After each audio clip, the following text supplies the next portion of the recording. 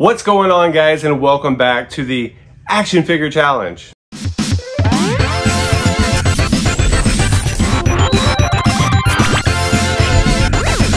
Not another retro channel. That's right, we are back doing the Action Figure Challenge series. It's been a while. Life this past year was kind of crazy. We made a movie. Um, the attic invaders were busy invading attics, so I thought, what a way to end the year by bringing back the Action Figure Challenge. If you're new to the channel and you haven't watched any of these uh, challenges, I'm going to put the links to those videos down below, so check those out. The point of the Action Figure Challenge is for me to find things in the wild to resell in order to purchase the remaining vintage TMNT figures I need for my collection. Another really cool thing about this challenge is that you guys can take what I do and apply it to whatever you need. If that's uh, making extra money, if that's to fill your collection like I am doing, take note and join along. So when we left off last, like I said, it's been about a year. So this is what's in our challenge bucket. We're gonna hit a couple of thrift stores and hopefully we can find some stuff to sell in order to get some of these remaining Ninja Turtle figures that I need for my collection. The first stop we take is at a Goodwill, so fingers crossed that we find something good.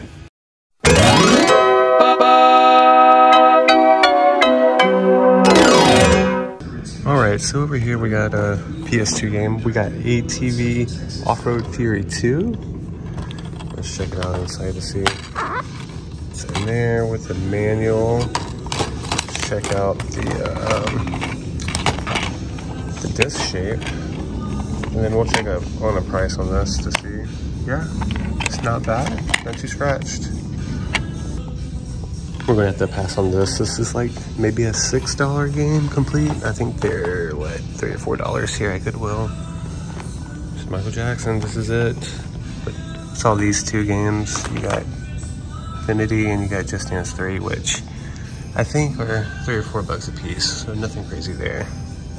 I saw these Fantastic Four 1978 cartoons. So this is disc one and disc two. I've never seen these. They look bootleg, but to look into it. Over here, I found a slew of games. We got, uh, nothing probably anything great. High School Musical, Wii Fit, uDraw Studio.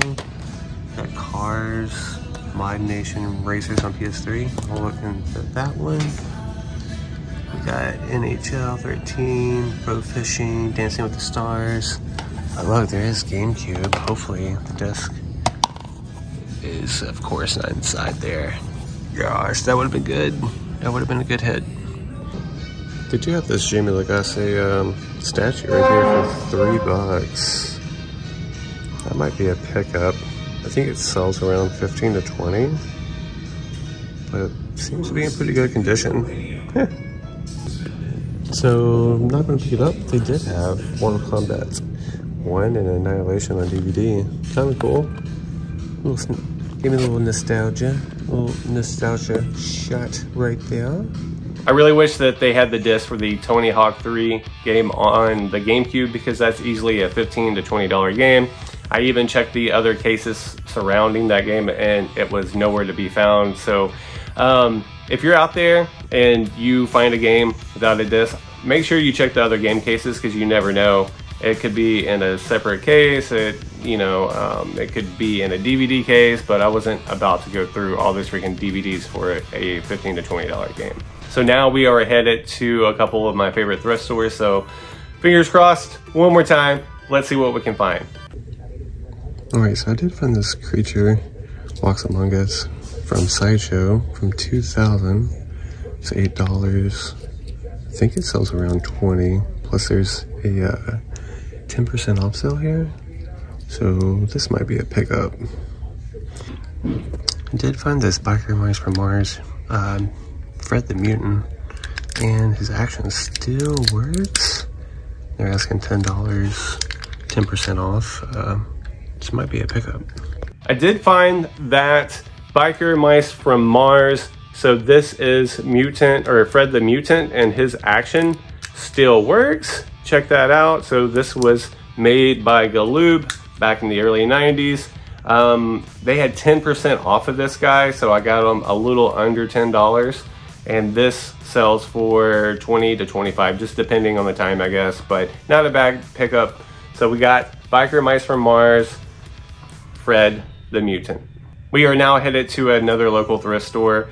I always forget about this one, but I've always had some pretty good luck at it, so let's check it out. And here's 50% off. There's some Skylanders. So this would be like a dollar.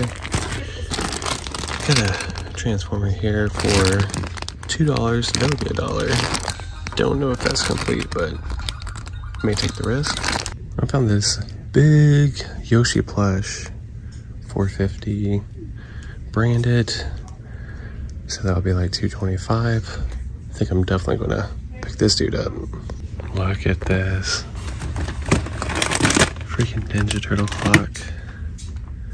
Wow. There's not a price on it, but it's got the cord. It's freaking Leonardo. And I've never seen that, so definite pickup right there. All right, so they had 50% off of the entire store, which is amazing. I looked through all the games. Um, there was titles like Wii Fit and uh, Wii Ski and stuff like that. So nothing that would have really made a difference. But I did find this 20 inch uh, Yoshi plushie in very good condition. He sells anywhere between 20 to $30, which is a great pickup. And I got him for $2.25. Next, as you saw, we found that Ninja Turtle uh, 2004 alarm clock. And I checked it out and it works and functions. There was not a price tag on this, but this ended up being only a dollar fifty with 50% off of that. So I think this is a, a heck of a find. If not, it, it's one of the cooler finds that I've found in a while because 2004 TMNT like clocks. I love the series and I love um, little things like this. So I think this sells anywhere between 15 to $25, but I think I'm gonna keep this because it's such a cool piece and it works too. Not like I'm gonna use it for an alarm clock, but uh, cool piece nonetheless. So 2004 Mirage TMNT alarm clock. So guys, that's going to do it for this video. Make sure you hit that subscribe button, like the video, and make sure you check out all of my other adventures from the Action Figure Challenge down below. And hopefully I can do two or three of these a month, uh, just depending what I find. So guys, let me know down below what are some of the best pickups you found um, here recently at a really good deal. And uh, I would love to hear it. So until next time, peace.